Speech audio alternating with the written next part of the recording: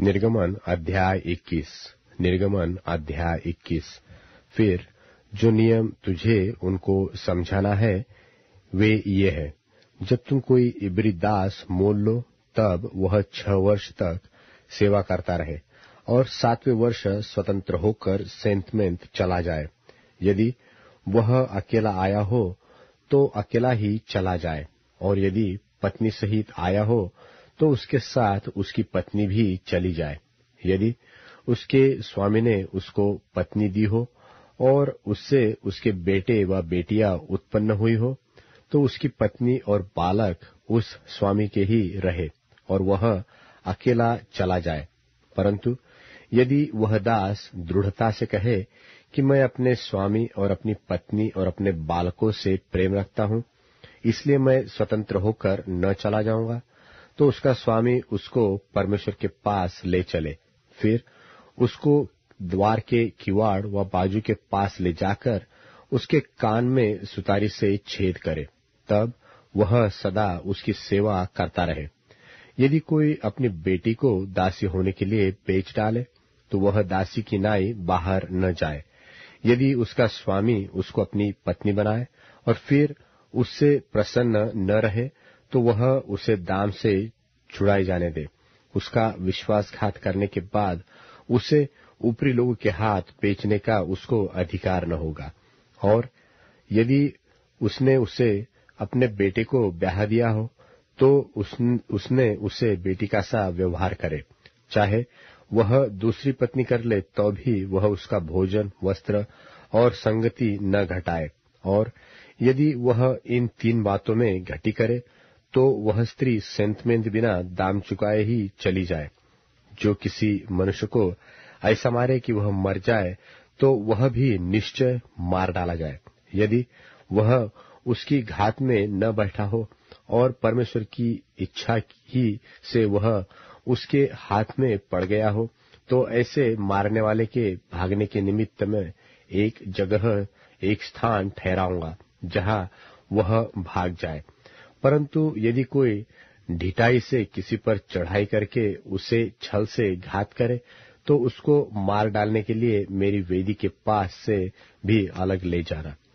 जो अपने पिता व माता को मारे पीटे, वह निश्चय मार डाला जाए। जो किसी मनुष्य को चुराए, चाहे उसे ले जाकर बेच डाले, चाहे वह उसके यहाँ पाया जाए तो वह भी निश्चय मार डाला जाए। जो अपने पिता व माता को श्राप दे, वह भी निश्चय मार डाला जाए। यदि मनुष्य झगड़ते हो और एक दूसरे को पत्थर व मुक्के से ऐसा मारे कि वह मरे नहीं, परंतु बिछौने पर पड़ा रहे तो जब तक वह उठकर लाठी के सहारे से बाहर चलने फिरने लगे, तब तक वह मारने वाला निर्दोष ठहरे। उस दशा में वह उसके पड़े रहने के समय की हानि को तो भर दे और उसको भला चंगा भी करा दे।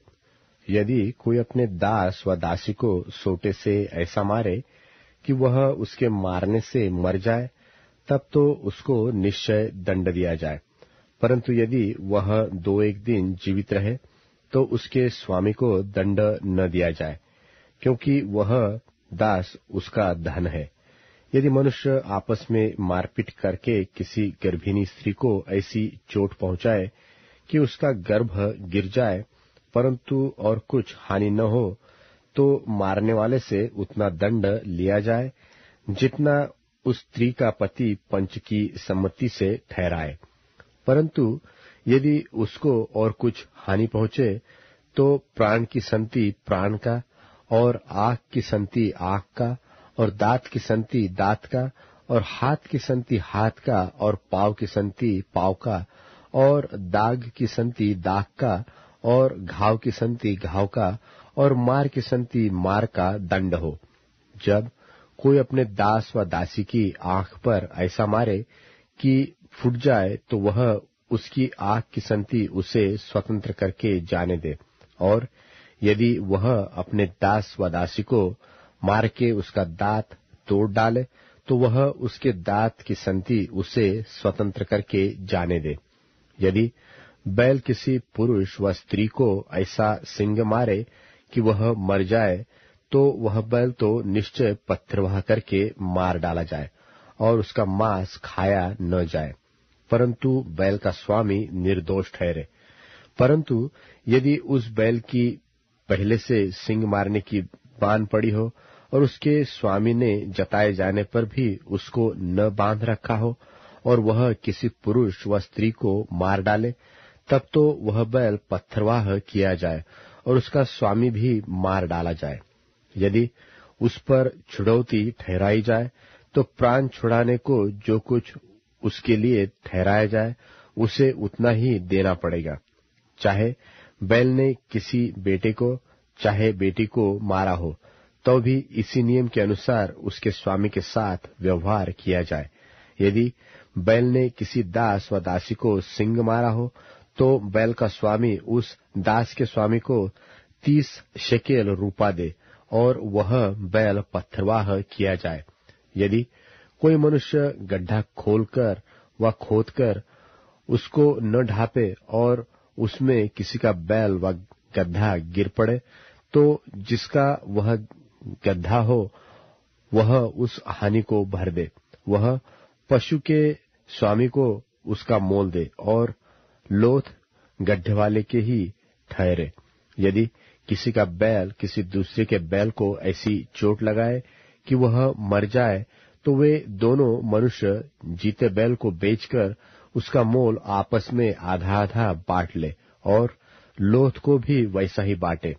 यदि यह प्रकट हो कि उस बैल की पहले से सिंग मारने की बाँध पड़ी थी पर उसके स्वामी ने उसे बाँध नहीं रखा तो निश्चय यह बैल की संति बैल भर दे, पर लोथ उसी की ठहरे।